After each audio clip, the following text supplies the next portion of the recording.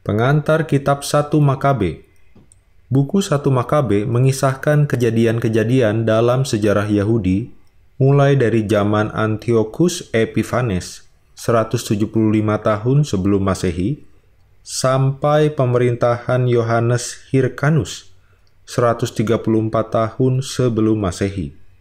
Seluruh kisah berpusat pada keluarga Hasmonia atau Makabe yang dipandang sebagai orang-orang yang dipilih Allah untuk menyelamatkan Israel.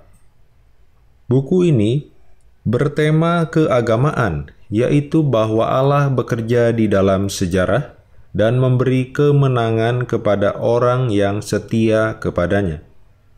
Isinya antara lain penganiayaan terhadap orang Yahudi dan pemberontakan Matatias kepemimpinan Yudas Makabe, kepemimpinan Yonatan, kepemimpinan Simon.